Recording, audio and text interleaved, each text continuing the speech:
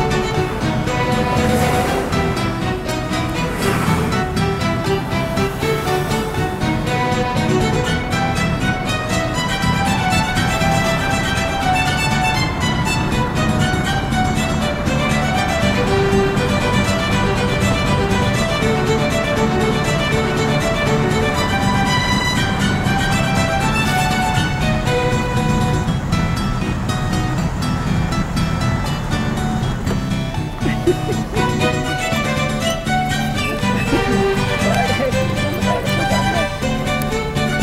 if you can just drive past